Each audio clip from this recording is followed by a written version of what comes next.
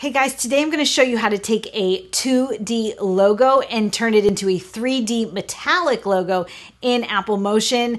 A few weeks back, I did do a tutorial about how to make any logo 3D, and I will link to that here. If you missed it, you should definitely check that out. But today we're taking it one step further. We're going to make that logo look metallic. So here we are in Apple Motion. I'm just going to pull in this client logo here it's actually a black cutout logo, so I'm just going to throw a color solid behind it so you guys can see what we're doing.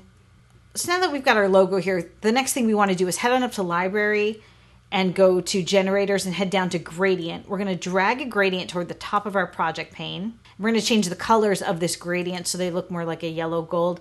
Let's uh, select generator in the inspector window. And we're going to see this kind of light blue to dark blue color swatch, I'm going to drop down the gradient and we can change these colors with this menu. So what I'm first going to do is select on this first box here and I'm going to change the color and I'm going to make it like a gold yellow, maybe a little more on the darker side.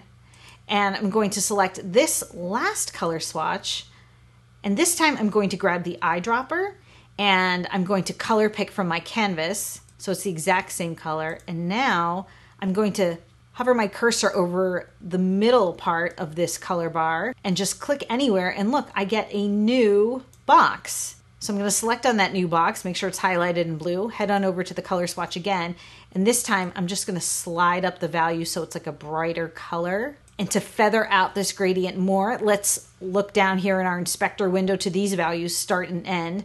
I'm going to select this value of 100 on the Y value I'm going to click down on my mouse and then hold that button down while I slide my mouse forward to raise that value up. And I'm going to do the same on the end value, except this time I'm going to slide backward, down, and there we go. That's the kind of gradient we're looking for. And maybe I'll even rotate that gradient a little bit by changing the X values. You can see there that now it's at more of a bit of an angle. I want to select the gradient in my project pane, head on up to Object, and select add image mask. And then in our inspector window, we're going to get this panel, image mask here, and it's going to ask for a mask source.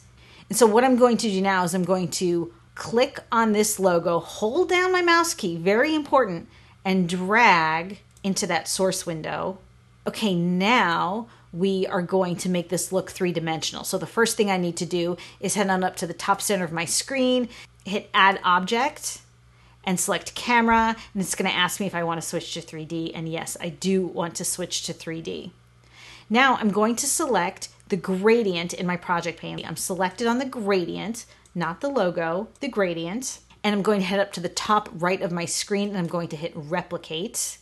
And if you watched that other logo tutorial, this looks familiar to you. you we've got a lot of versions of this logo and it's too many and it doesn't look right. So let's head on over to our inspector window, make sure we're selected on the replicator tab, and I'm going to look at shape and I'm going to change it from rectangle to line. I'm going to change my start value from negative 100 to zero on the X value. And again, on the X value on endpoint, make that zero as well. And then we're going to head down to the line here that says 3D. We're going to check it. And now let's drop down the endpoint with this little arrow here. And now let's dial up the Z value by selecting that zero there, holding down on our mouse key, pushing our mouse forward. And to show you the depth on our logo, I'm going to turn off that color solid. I don't think we need it anymore. Let me select the replicator in our project pane, head on over to properties, drop down the rotation, and then let's rotate on the Y value. And you can see that this logo is in fact very 3D looking. If you wanted the letters to look less deep, you would head back over to Replicator and then Replicator in your inspector window and then play with that Z value and see how it'll shrink back down. And then if you really wanted it to be very deep, that's how you would do it. Now you might see all the individual layers of our replicator.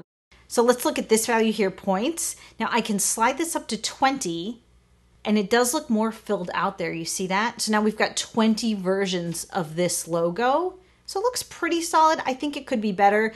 We can actually go higher than 20 if you select the value 20 with your cursor, click down on your mouse and push your mouse forward.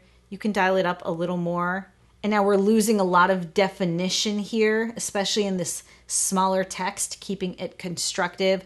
So what I'm going to do is select in my project pane the gradient this time is what we need. I'm on the gradient that is muted out. So once you create a replicator, it'll mute out your original element that you're replicating. And when I say muted, I mean that this becomes unchecked. So that's the version we want, the unchecked version. And we're going to head on over to properties in our inspector window. We're going to turn on the drop shadow and we're going to drop down this show menu here. And then we can make adjustments to the drop shadow. Hey guys, while I'm playing with these drop shadows, let me know if you're enjoying this video by giving me a thumbs up and hitting that subscribe button. And also don't forget to ring that notification bell.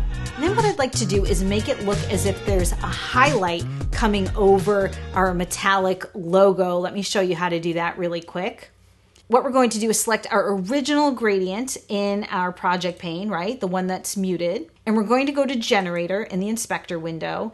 And remember when we played with these start and end values? I'm actually going to keyframe them. I'm going to start here at the beginning. I'm going to have my playhead cued up to the very beginning of my timeline. And I'm going to make keyframes on start and end value. And let's play with the X values here. And then I'm going to drag my playhead down in the timeline and I'm going to make new keyframes on the start and end values. And then let's play and change these values a bit. So it looks like the light is moving.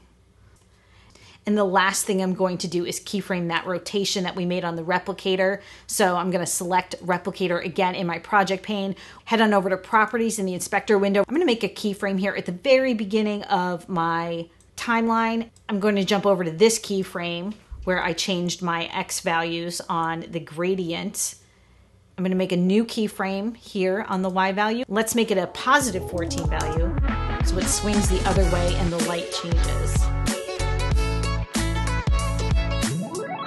And there you go, guys. That is how you make any logo look 3D and metallic in Apple Motion. Thank you so much for creating with me today. I picked out some other videos that I think you might like. Check those out, and I will see you again.